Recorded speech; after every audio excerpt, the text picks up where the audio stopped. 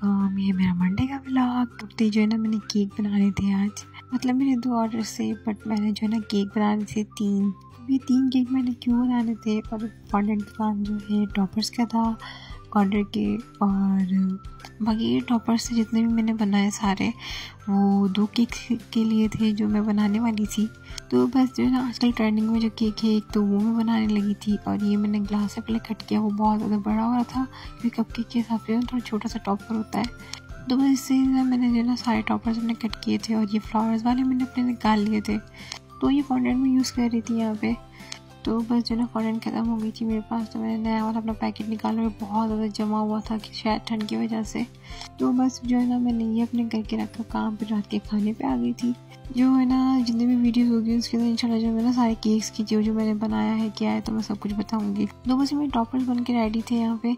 शाम का टाइम था, मैं खाना बना रही थी। मैं यहाँ पे एक मतलब मसाला भून के ना, दो डिशें बनाई थी, मैं आलू मेथी नहीं खाती। तो बस मैंने अपने आलू मटर बनाया था, और जो है ना, अपने हस्बैंड के लिए मेथी बनाए थे, उनको पसंद है।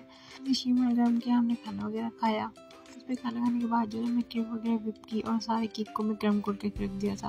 बस फिर ये कप जो है ना, नीचे वाली भाभी ने मुझे ला के दिए हैं तो उनका बहुत ज़्यादा थैंक यू क्योंकि मेरे सारे कप टूट चुके थे। बस उसके बाद जो है ना, मैंने इसमें पिया अपना ग्रीन टी ग्रीन टी में मैंने जो है अदरक, गुड़ और हनी डाल लिया था। तो बस ये जो है ना बीच वाली फ्लेवर की रखी थी, ये पी ली थी मैंने। तो बस कावा की जगह जो है ना, मैंने ग्रीन टी पी ली थी। इसमें मैंने दालचीनी, अदरक और गुड़ डाल दिया था। बस फिर जो है ना, मैंने अपने फ्लावर्स को बीच में लगाने थे डॉट्स वाइट पे वाइट पे रेड और रेड पे वाइट मैं इनको कंप्लीट करके रखा और आज मैं ब्लॉग पे इतना ही थैंक यू फॉर वॉचिंग